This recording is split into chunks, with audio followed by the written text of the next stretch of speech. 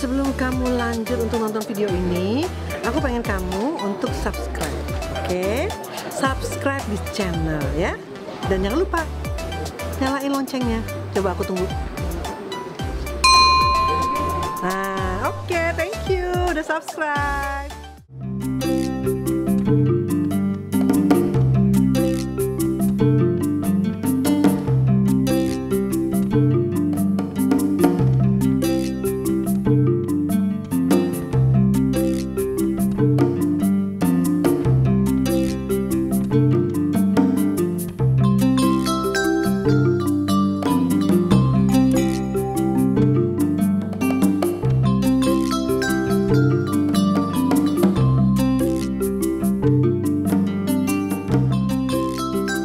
Citatah adalah kawasan kars yang unik dan eksotik. Tebing-tebingnya menantang untuk dipanjat. Di sisi lain, perbukitan kars Citatah merupakan daerah tambang kapur yang memasok kebutuhan kapur untuk berbagai kebutuhan, seperti semen hingga pasta gigi.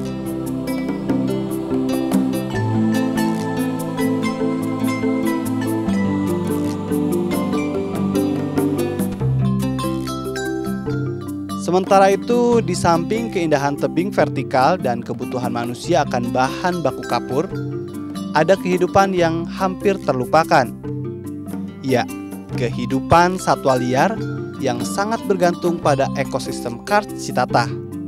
Dari sini ke tebing yang awal tadi itu itu sekitar 45 menit ya kan? Ya, ini 45 menit dari Bandung. Ah, dari Bandung. Ini batuan kapur di belakang ada tebing. Di Tepatnya daerah mana? Ini masih Citatah. Oh di Citatah, pada larang ya? Iya, benar. Wow. Daerah Bukit Kapur kalau nggak salah kan? Bukit kapur. Itu dengar-dengar ada yang pernah di patok ular atau gimana? Ya, dulu ada pemanjat yang dipatok ular ya. Ularnya jenis apa saya nggak tahu. Pun patok langsung dievakuasi. Hitam apa-apa. Hitam ularnya. Hitam. Oh, wow. Di sini dipatok di sekitar 30 meter. 30 meter ini gua itu. Hmm, Wih, guanya tuh gua besar atau gimana? Gua sekitar bisa masuk 20-30 orang. 30 orang. Berarti lumayan ya cekukan dalamnya Ya, masih dia masuk.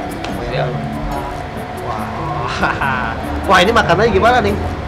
harus kita selesaikan. Kita selesaikan dulu kayaknya. Jadi sebelum manjat itu harus full dulu tenaganya. Kita sarapan dulu pagi ini dan setelah ini langsung menuju ke Citata untuk uh, mencoba climbing atau panjat tebing di uh, apa? Citatah. Citatah ya Kang ya. Itu katanya seru banget karena di atas tebingnya itu ada gua. Hmm, kayak gimana guanya? Penasaran? Makan dulu ya panjinya. ya kan? Kehidupan satwa liar yang tersisa di kawasan Kars Citatah membuat saya penasaran dan tentunya tak sabar lagi untuk melihatnya dari dekat.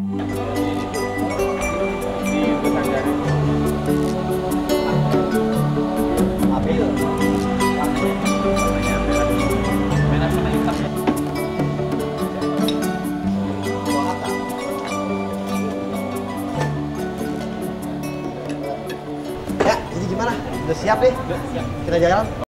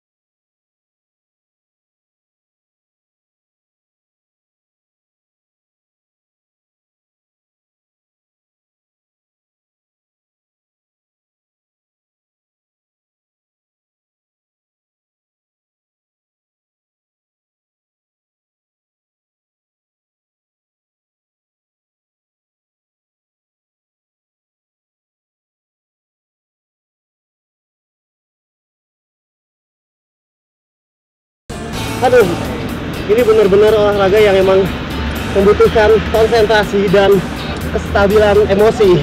Karena kalau misalkan kita nggak bisa mengontrol emosi kita karena takut kita nggak akan bisa lanjutin olahraga ini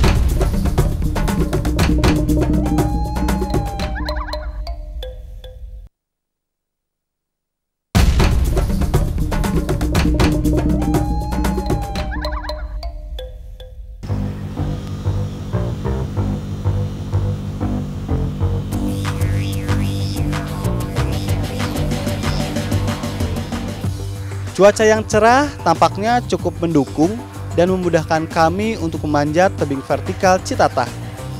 Karena untuk bisa sampai ke lokasi goa sarang satwa liar, satu-satunya jalan yaitu dengan memanjat tebing kars ini.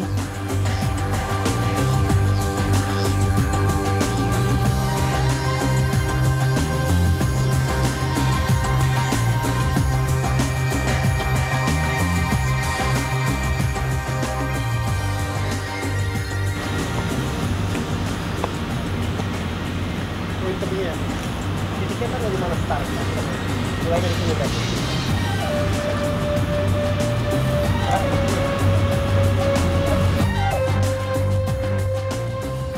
Setelah tim membuka jalur, menyiapkan tali temali, dan semua peralatan pendukung keamanan terpasang sempurna, kami pun bergantian memanjat dinding-dinding batu kart Citata.